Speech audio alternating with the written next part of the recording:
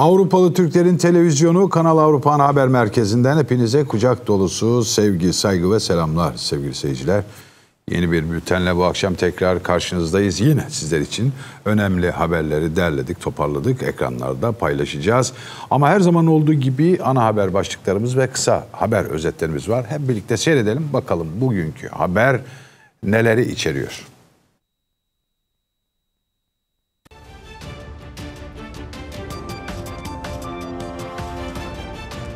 Dünya Sağlık Örgütü Genel Direktörü Gebreyesus, 2021 yılının neden çok daha ölümcül olacağını söyledi. Alman polisi, sahte aşı kimliğinin ciddi bir sorun haline geldiğini açıkladı. İngiltere Başbakanı Boris Johnson, hangi nedenle gevşeme önlemlerin tehlikeye girebileceğini açıkladı. Akdeniz'deki tatil ülkeleri yaz sezonunda turist çekebilmek için kolları sıvadı. Yunanistan, İtalya, Türkiye, Hırvatistan, Malta ve Portekiz'de son durum ne? Sağlık Bakanı Fahrettin Koca, kaç milyon doz aşının yakında Türkiye'ye ulaşacağını açıkladı. Alman bir siyasetçi, Türk derneklerini hedef gösteren Yeşiller Partisi milletvekili Cem Özdemir'i eleştirdi. Fransa'da fakirlik sınırının altında yaşayan insanların sayısında patlama yaşandığı ortaya çıktı. Alman Dış İstihbaratı kapalı kutu imajından sıyrılma ve dışa açılma amacıyla ne yaptı? Fransa'da Türkiye kökenli 3 kardeş uyuşturucu ticareti yaptıkları iddiasıyla gözaltına alındı. Pelluce'de 6 gün isimli video oyunu neden tepki topladı? Almanya'nın Kuzey Ren-Vesfalya eyaletinde İslam Din Dersi Komisyonu'nda DİTİB'e yer verildi. Almanya'da hükümet tütün vergilerine ne kadar zam getirmeyi planlıyor? Türk SİHA'larının 190'dan fazla Ermeni tankını imha etmesiyle ilgili haberlerin Alman ordusunda şoka sebep olduğu belirtildi. Hepsi ve daha fazlası az sonra Kanal Avrupa ekranlarında.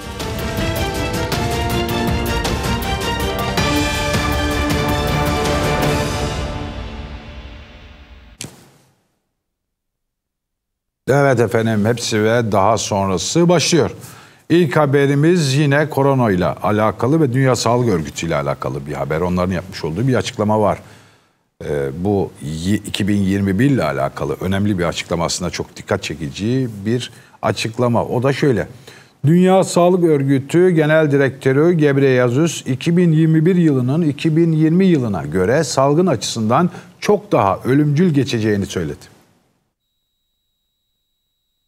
Dünya Sağlık Örgütü 2019 yılının sonlarında Çin'de ortaya çıkan ve 2020 yılında bütün dünyaya yayılarak bir salgına dönüşen koronavirüse bağlı COVID-19 hastalığı sebebiyle 2021 yılının çok daha ölümcül geçeceğini belirtti. Dünya Sağlık Örgütü Genel Direktörü Gebreyesus yaptığı açıklamada bu salgının ikinci yılının ilkinden çok daha ölümcül olacağına inanıyoruz dedi. Dünya Sağlık Örgütü'nün en güncel verilerine göre dünya genelinde 3,5 milyondan fazla kişi COVID-19 sebebiyle hayatını kaybetti. Gebreyesus, Hindistan'da yaşanan salgının ikinci dalgasının ciddi derecede endişe verici olduğunu belirterek Hindistan'ın birçok eyaletinde tedirgin edici derecede yeni vaka, hastaneye yatma ve ölüm kaydedildiğini aktardı. Gebreyesus, Dünya Sağlık Örgütü olarak Hindistan'a oksijen tüpü, sahra hastaneleri için çadır, maske ve tıbbi araç gereç gönderdiklerini belirtti. DSÖ verilerine göre Hindistan'da bugüne kadar Covid-19 yakalanan insan sayısı 24 milyonu aşarken en az 262 bin kişi de bu hastalıktan hayatını kaybetti. En son verilere göre son 24 saat içinde koronadan hayatını kaybedenlerin sayısı 4000'den fazla olarak açıklandı. Hindistan'da ölüm sayıları son 3 gündür üst üste 4000'in üzerinde seyrediyor. Dünya Sağlık Örgütü Genel Direktörü Gebreyesus ayrıca çocuklara aşı yapmayı planlayan ülkelere bir çağrıda bulunarak çocuklara yapılacak aşıları COVAX programı kapsamında bağışlamalarını istedi. Gebreyesus online olarak düzenlenen toplantıda bazı ülkelerin çocuklarını ve ergenlerini neden aşılamak istediklerini anlıyorum. Ancak şu anda bunu yeniden düşünmelerini ve onun yerine aşıları COVAX'a bağışlamalarını istiyorum dedi. DSÖ diğer ülkelerin de Fransa ve İsveç'i bu konuda örnek almalarını talep ediyor. Fransa ve İsveç öncelikli nüfusunu aşıladıktan sonra COVAX programının aşı bağışında bulunmuştu. Dünya Sağlık Örgütü ve Aşı ve Bağışıklık Küresel İttifakı'nın ortak gelişimi olan COVAX programı, bütün ülkelerin adil bir şekilde COVID-19 aşısına erişimini garanti altına almayı hedefliyor. Şu ana kadar ihtiyacı bulunan ülkelere 60 milyon doz COVID-19 aşısı eriştiren COVAX programı, Hindistan'da yaşanan yeni dalga sebebiyle ülkenin AstraZeneca aşılarının ihracatına izin vermemesi sebebiyle özellikle yoksul ülkelerde yaşanan aşı ihtiyacını karşılamak konusunda zorluk yaşıyor. Dünya Sağlık Örgütü verilerine göre şu ana kadar dünya genelinde 1 milyar 26 milyon doz aşı yapıldı. Şimdi içimiz rahatlasın derken Dünya Sağlık Örgütü Direktörü Gebreyesus'un yapmış olduğu açıklama yani içimizi rahatlatan bir açıklama değil. 2021'de ölümlerin daha fazla olacağını söyledi ve aşıların devam ettiğini söylüyorlar. Biz rahatlayacağız diye beklerken Dünya Sağlık Örgütü de hayır o kadar rahatlamayın. Ölümler daha çok olacak diyor. Ne yapmamız lazım acaba? Onu da bilemiyoruz. Şimdi bu aşı mevzuları vardı ya işte aşı yaptırırsanız veya Covid-19'u geçirmişseniz size e, imtiyazlar tanınacaktı. Onunla ilgili sahtekarlıklar da ortaya çıkmaya başladı. Alman polisi sahte aşı kimliğinin ciddi bir sorun haline geldiğini açıkladı. Aşı olanlara ve Covid-19 atlatanlara muafiyetler tanınması nedeniyle sahte aşı kimliği sorununun ortaya çıktığı da belirtiliyor.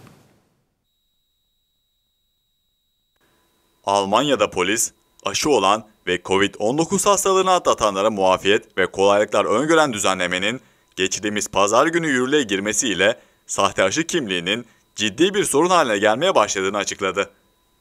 Polis, virüs taşıyan bireylerin sahte kimlikle seyahat kısıtlamalarından kaçabileceğini ve bu şekilde hastalığı yayabileceği uyarısında bulundu.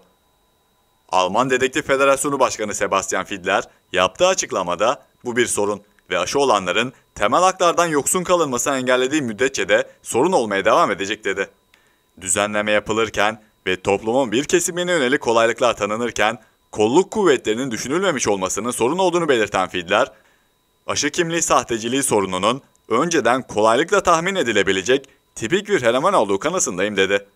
Almanya Sağlık Bakanı Şipan, aşı olan kişiler için dijital bağışıklık sertifikasının Haziran sonuna kadar çıkartılmasının planlandığını açıklamıştı.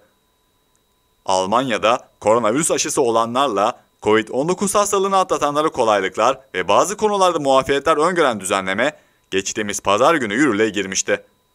Yeni düzenleme uyarınca aşı olanlarla hastalığı atlatıp iyileşen kişiler, örneğin alışveriş ya da berbere gittiklerinde, bir müze veya botanik bahçesi gibi yerleri ziyaret ettiklerinde yanlarında koronavirüs negatif olduğunu kanıtlayan test sonucu bulundurmak zorunda kalmayacak.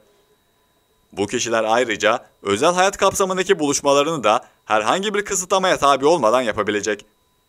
Ayrıca yine bu kapsamdaki kişiler için karantina uygulaması sadece çok istisnai durumlarda geçerli olacak.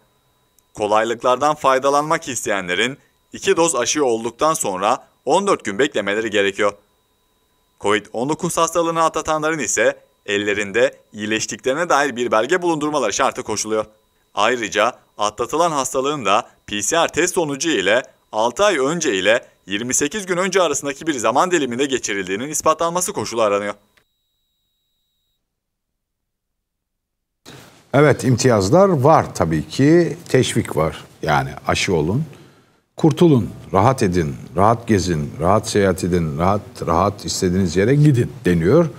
Ve gerçekten de Almanya'da rekor düzeyde her gün hemen hemen aşı yapılıyor. 1 milyon 350 bin en son rekor. Ondan önce 1 milyon 900 bin. Yani e, şu demek günlük sayı buysa eğer ayda ne kadar olacağını siz hesap edin. Yani Almanya yaz döneminin doğruğa çıktığı anda aşı işleminin %70'ini %80'ini bitirmiş olacak. İngiltere Başbakanı Johnson, Hint varyantının daha hızlı yayıldığını belirterek planlanan gevşeme önlemlerinin tehlikeye gireceğini söyledi. Johnson, seyahat listesinde önemli bir değişiklik olmayacağını mesajını da verdi. Good evening. The coronavirus is the biggest threat this country has faced for decades, and this country is not alone. All İngiltere Başbakanı Boris Johnson, koronavirüsün Hindistan'da ortaya çıkan varyantı ile ilgili uyarılarda bulundu. Uzmanlara göre varyantın daha çabuk bulaştığını belirten Johnson, diğer varyantlara kıyasla yayılma hızının ne kadar yüksek olduğu konusunda henüz kesin veriler bulunmamakla birlikte önümüzdeki dönemlerde zorlu kararlar alınması gerekebileceği mesajını verdi. Pazartesi gününden itibaren yürürlüğe sokulması planlanan gevşeme adımlarının şimdilik tehlikede olmadığını belirten Boris Johnson, ancak Hint varyantının yayılmasının kapanmadan çıkış adımlarını yavaşlatabileceğini ve 21 Haziran'daki tam açılma planını sekteye uğratabileceğini kaydetti. Başbakan, Hint varyantının gerçek etkisini görmek için önümüzdeki 2 ve 3 haftada elde edilecek verilerin çok önem taşıdığını vurguladı. İyi haber, aşıların bu varyanta karşı daha az etkili olduğuna dair bir bulgunun olmaması diye konuşan Boris Johnson, ancak 50 yaş üstü ve risk altındaki grupta 2 doz aşılama arasında geçen sürenin 12 haftadan 8 haftaya düşürüleceğini ve ilk dozu olmayanların aşılanmasının hızlandırılacağını kaydetti. Başbakan, insanların iki kez aşılanmasının büyük önem taşıdığını vurguladı. Dünyanın en hızlı aşılama kampanyalarından birini yürüten İngiltere'de yetişkin nüfusun yaklaşık %70'i ilk doz ve %36'sı ise ikinci doz aşısını olmuş durumda. İngiltere Başbakanı, dönüşte karantina zorunluluğu bulunmayan ülkelerden oluşan yeşil listede önemli değişiklikler olmayacağı mesajını da verdi. Başbakan Boris Johnson, listeye yeni eklemeler yapmamızı beklemiyorum. Gerçekte, kestirilebilir bir gelecekte çok çok sert bir sınır rejimine bağlı kalacağız diye konuştu. 12 ülkelik yeşil listede Avrupa'dan sadece Portekiz yer alıyor. Türkiye ise Hindistan, Brezilya ve Güney Afrika'nın da yer aldığı kırmızı listede bulunuyor. Hükümetin gidilmemesini istediği kırmızı listedeki ülkelerden İngiltere'ye sadece İngiliz vatandaşları ve İngiltere'de oturum izni bulunanların girmesine izin veriliyor. İngiltere'de 7 günlük dönemde 100 bin nüfusa düşen vaka sayısı 23 ile düşük seviyelerde seyrediyor. Ancak son haftalarda vakalarda bölgesel bazı artış gözlemlenirken artışın sebebi olarak Hint varyantı gösteriliyor. Evet bu Hint varyantı dedikleri Almanya'da da var. Hatta bugün bir seyircimiz bizi arayarak Felbert'te bir binanın e, karantina altına alındığını söyledi. Kendisiyle büyük bir ihtimalle yarın görüşeceğiz bakalım. Bina olduğu gibi karantina altında, izolasyona uğramış şekilde. Yani e, Hint varyasyonu Almanya'da var. Hem de yakınımızda. Bize yakın bir yerde, yakın bir şehirde 40-50 kilometre uzakta. Pandemi nedeniyle zor durumda olan Akdeniz'deki tatil ülkeleri yaz sezonunda turist çekebilmek için kolları sıvadılar. Yunanistan, İtalya, Türkiye, Hırvatistan, Malta ve Portekiz'de son durum ne? Pandemi sebebiyle zor durumda olan Akdeniz'deki tatil ülkeleri yaz sezonunda turist çekebilmek için kolları sıvadı. Yunanistan, İtalya, Türkiye, Hırvatistan, Malta ve Portekiz'de durum ne? Yunanistan, turizm sezonunu kısıtlamalardan çıkan tatilcileri kazanabilmek için Akdeniz'de kızışan rekabet ortamının tam ortasında başlattı ve Cuma günü açtı. Avrupa Birliği, pandemi sebebiyle uygulanan seyahat uyarılarını henüz tam olarak kaldırmış değil. Ancak turizm gelirlerine önemli ölçüde gereksinim duyan Güney Akdeniz ülkelerinin daha fazla beklemeye tahammülleri de yok. Yunanistan ve Kıbrıs 6 ay aradan sonra vatandaşların elektronik ortamda izin alarak sokağa çıkma zorunluluğunu da Cuma gününden itibaren kaldırdıklarını açıkladı. Geçen sene Yunanistan'a gelen turist sayısı bir önceki yıla oranla %78.2 gerileme kaydederek 7 milyon 400 bine düşmüştü. Resmi verilere göre 2019 yılında ülkeye 34 milyon turist gelmişti. Yunanistan'ın 2021 yılı hedefi ise 2019'da kaydedilen oranın yarısını yakalayabilmek. Bu bağlamda Atina önümüzdeki 6 hafta içerisinde tüm adaların sakinlerinin ikinci aşılarını da tamamlayacağını vaat ediyor. Yunanistan'da onay almamış Rus veya Çin üretim aşılardan olanlardan da test yaptırmalar istenmeyecek. Diğer Akdeniz ülkeleri de turist çekebilmek için çeşitli kolaylıklar sağlayacaklarını açıklarken Malta turistlere dalış kuponları hediye etmeyi, otel müşterilerine de indirim yapmayı vaat ediyor. Türkiye'de ise yabancı turistler halka uygulanan sokağa çıkma kısıtlamalarından muaf tutuldu. Böylece turistler kalabalık olmayan İstanbul'un ve sahil beldelerin tadını çıkardı. Pazartesi gününden itibaren Çin, İngiltere, Avustralya ve diğer 13 ülkeden gelen yolcular Covid-19 testi ibraz etmek zorunda kalmayacak. Portekiz, İngiltere'nin karantina koşulu olmadan seyahat edilebilen ülkelerin yer aldığı yeşil listesindeki tek Güney Avrupa ülkesi. Tatil fiyatları kıyaslama sitelerine göre bu haberi işiten İngiliz turistler Portekiz'e akın etti. Sitede son zamanlarda yapılan aramalarda Portekiz'in rakamlarının %865'lik bir artış gösterdiğini belirtti. Portekiz'in komşusu İspanya'nın Ticaret ve Turizm Bakanı ise hükümetinin turizm konusunda İngiltere ile sürekli istişarelerde bulunduğunu söyledi. 2019 yılında yaklaşık 18 milyon İngiliz tatil için İspanya'yı tercih etmişti.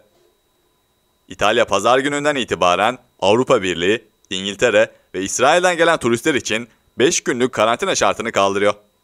Ancak turizm sektörü çalışanları bu yıldan da pek umutlu değil. Umarım Türkiye'den bizi seyredenler bu haberi iyi dinlemişlerdir. Türkiye'ye gelecek olan turistlerle ilgili yapılan bir kara propaganda var. İşte aşılıyız değiliz gibi ama görüyorsunuz ülkeler ülkelerine yeter ki turist gelsinler diye e, efendim amuda kalkıyorlar, takla atıyorlar. Görüyorsunuz. Durum bundan ibaret. Ha ama şunu da söylemek lazım. Türkiye'yi turizm sezonunda yine kim kurtaracak? Avrupa Birliği ve İskandinav ülkelerinde yaşayan yaklaşık 10 milyon civarında Avrupalı Türk var. Yine onlar gelecekler turist gibi değil ceplerinde en az 5000 euro aile başına gelip ülkemize katkı sağlayacaklar. Değerini bilin diye söylüyorum efendim. Avrupalı Türklerin değerini bilin. Onlar her zaman olduğu gibi turizm konusunda da ülkemize yine katkı sağlayacaklar. Sağlık Bakanı Fahrettin Koca bu hafta içinde 10 milyon doz Sinovac aşısının sonbahara kadar da 90 milyon doz BioNTech aşısının Türkiye'ye ulaşacağını açıkladı.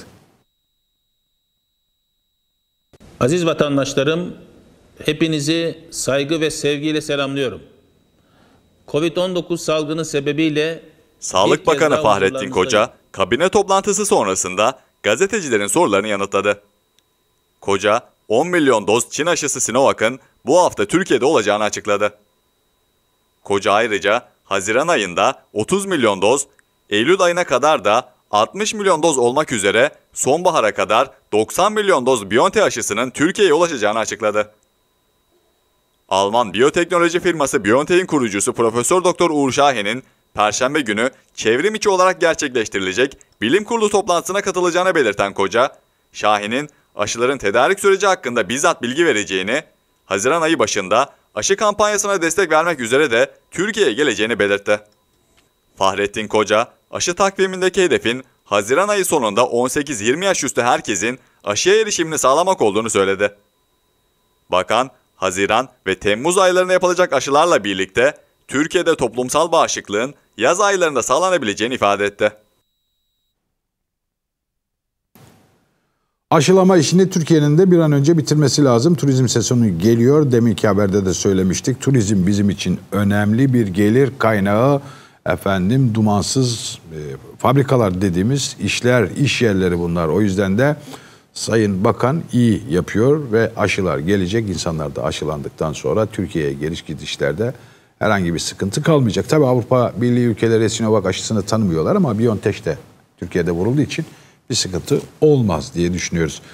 Almanya'da Team Todenhofer Partisi Genel Başkanı Todenhofer ülkedeki antisemitizmin sebebi olarak Türk derneklerini gösteren Yeşiller Partisi Milletvekili Cem Özdemir'i sert bir şekilde eleştirdi. Almanya'da geçtiğimiz sene kurulan Team Todenhofer Partisi Genel Başkanı Jürgen Todenhofer, ülkedeki antisemitizmin sebebi olarak Türk derneklerini gösteren Yeşiller Partisi Milletvekili Cem Özdemir eleştirdi. Cem Özdemir'i halkı kışkırtmakla suçlayan Todenhofer, sosyal medya hesabından yaptığı açıklamada, şimdi Cem Özdemir gibi bazı Alman siyasetçiler antisemitizmin Müslümanların icadı olduğu algısını yaratıyor. Ancak soykırımda milyonlarca Yahudi'yi barbarca katledenler Müslümanlar değildi. Bu suçu başkalarının üzerine yıkmak da halkı kışkırtmak demektir Sayın Özdemir ifadelerini kullandı. Jürgen Todenhofer, Angela Merkel'in partisi Hristiyan Demokrat Birlik Partisi'nde uzun yıllar milletvekili yapmıştı. Cem Özdemir yaptığı açıklamada Müslümanlar ve göçmenler arasındaki antisemitizme dikkat edilmesi gerektiğini savunarak Diyanet İşleri Türk İslam Birliği gibi dernekler Ankara'dan talimat alıyor. Türk Devlet Televizyonu nefreti buralara transfer ediyor. Bunlar kabul edilemez ifadelerini kullanmıştı.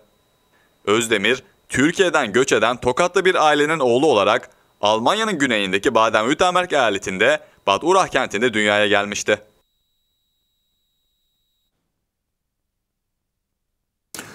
Şimdi insan merak ediyor. Adam, acaba hangisi Türkiye kökenli?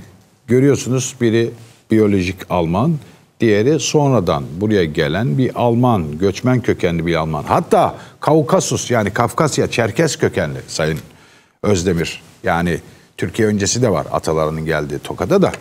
Ama bakıyorsun kıyas aradaki biri farklı söylüyor, diğeri farklı söylüyor. Tabii seçimlerde vatandaşlar buna dikkat ederek sandığa gidecekler. Bunu da biliyoruz zaten. Fransa'da geçen yıl başlayan pandemi sürecinde ülkede fakirlik sınırının altında yaşayan insanların sayısında patlama yaşandığı ortaya çıktı. Fransa'da pandemi döneminde fakirlik sınırının altında yaşayanların sayısının ikiye katlandığı ortaya çıktı. Fakirlikle Mücadele Ulusal Konseyi'nin hükümete sunduğu rapor, yaşanan salgının Fransa'daki fakir nüfus üzerindeki etkilerinin çok daha ağır olduğunu ortaya koydu. Ülkedeki fakir sayısının bu süreçte ikiye katlandığına dikkat çekildi. Bu süreçte Fakirlikle Mücadele Ulusal Konseyi, kısmi işsizlik ya da yardımlarla geçinmeye çalışan insanların sayısının arttığına vurgu yaptı. Rakamlarla ilgili net bilgi verilmezken Fransa'da 2019 yılında 9.1 milyon kişinin fakirlik sınırının altında yaşadığı aktarıldı. Fransa'da aylık 1070 euronun altında geliri sahip olanlar fakir olarak kabul ediliyor. 2020 sayısının ise bu senenin sonunda açıklanacağı duyuruldu. Tabii bu fakirleşmenin altında ezilenler yine göçmenler, göçmen kökenliler, o insanlar daha fazla bu sıkıntıda yaşıyorlar. Her yerde olduğu gibi Fransa'da da durum böyle. Dünyanın her ülkesinde durum böyle. Alman Milli İstihbaratı beğendi kapalı kutu imajından sıyrılma ve dışa açılma stratejisinde yeni bir adım daha atarak Instagram'da hesap açtı. Teşkilat genç yeteneklere ulaşabilmeyi hedefliyor. Yıllarca kapalı kutu olarak bilinen Almanya Dış İstihbarat Teşkilatı BND, dışarıya açılma stratejisinde bir adım daha atarak Instagram hesabı oluşturdu. Merkezi Berlin'de bulunan teşkilat, pazartesi günü özellikle gençler arasında yaygın olarak kullanılan sosyal medya platformu Instagram'a kendi hesabıyla dahil oldu. Asıl amacın yeni yetenekleri işe alabilmek olduğu belirtilirken, açılan hesapla özellikle matematik, bilişim, doğa bilimleri ve teknik alanlardan gençlere ulaşmanın planlandığı kaydedildi. İstihbarat Teşkilatı Başkanı Bruno Kal yaptığı açıklamada modern bir işveren potansiyel iş adaylarının bulunduğu mecralarda da bulunmalıdır ifadelerine yer verdi. Kuruluşunun 65. yılında Instagram'da bir hesap oluşturmanın dönüm noktası olduğunu söyleyen Kal, okulu bırakanlara, üniversite mezunlarına, genç iş insanlarına, uluslararası alanda faaliyet gösteren bir güvenlik kurumunun sunabileceği kariyer olanakları konusunda izlenim yaratmanın modern yollarını bulmalıyız dedi.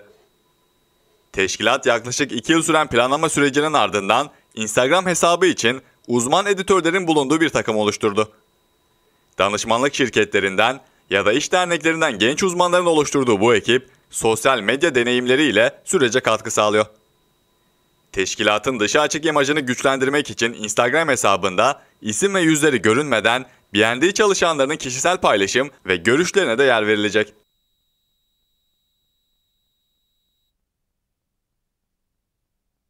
Meraklıları için güzel bir proje, güzel bir iş imkanı. Yani casusçuluk oynamayı sevenler size imkan tanınmış. Başvurun hemen.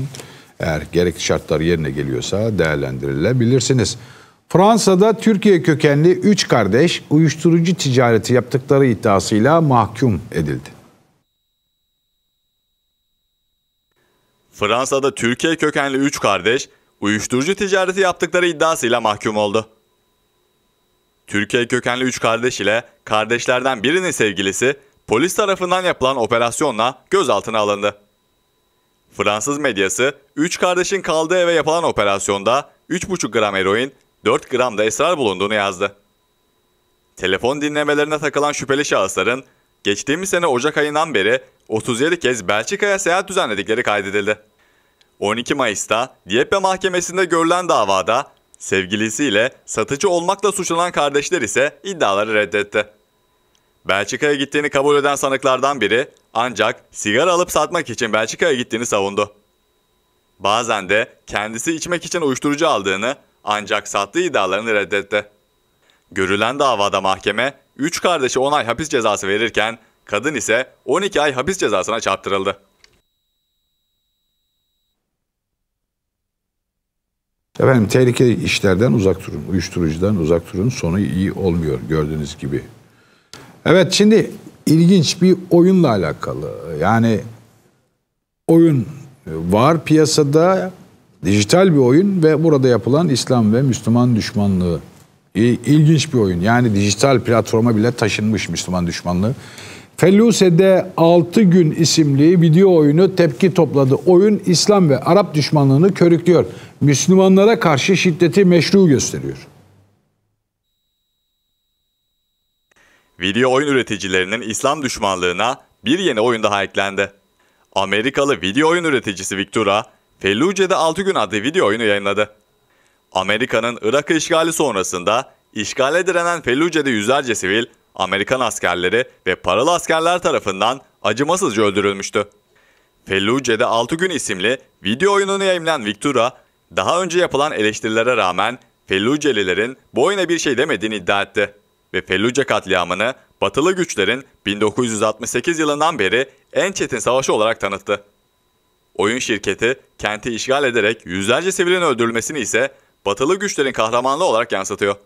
Amerika Birleşik Devletleri'nde Müslümanların hakları için mücadele veren Müslim Advocates kuruluşu, video oyununun dağıtılmaması için Sony, Microsoft ve Valve şirketlerine çağrıda bulundu. Çağrıda video oyununun İslam ve Arap düşmanlığı ile nefretini yaygınlaştırarak Araplara ve Müslümanlara karşı şiddeti meşrulaştırdığı ifade edildi. Çağrıda ayrıca Felluce'de sivillerin ölümünün kar ve kazanca dönüştürülmeyeceğine vurgu yapıldı.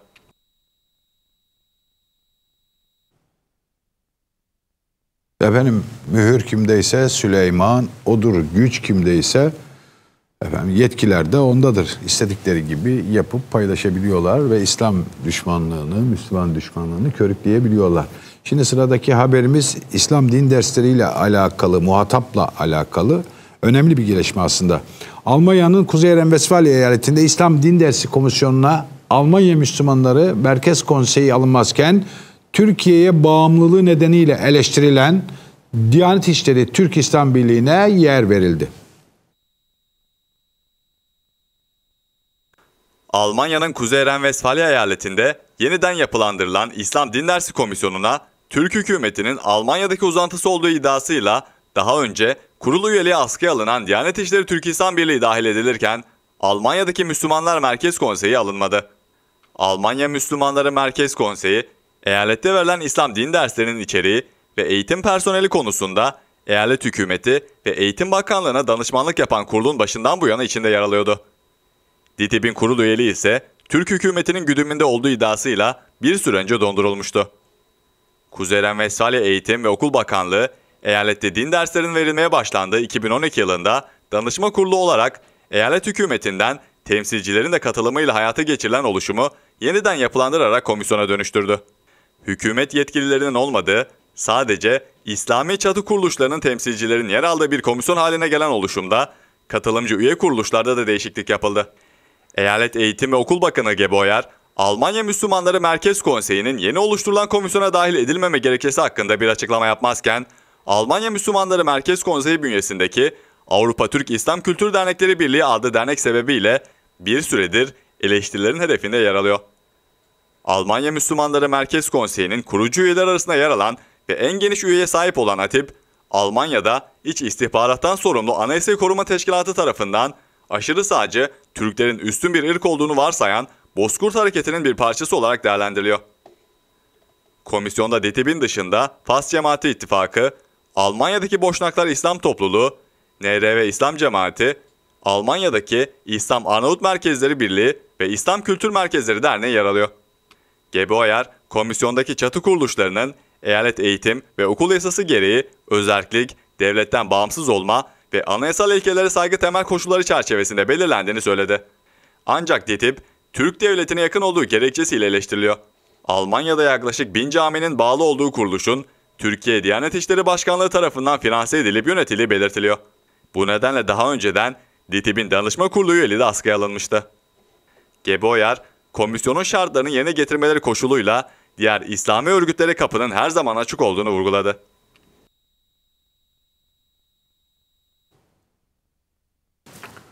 Evet ilginç bir gerekçe var. Ee, İslam e, Konseyi bu konuda neler söyleyecek, ATİP neler söyleyecek onu da merak ediyoruz. Mutlaka açıklama yapacaklardır bu haberle ilgili.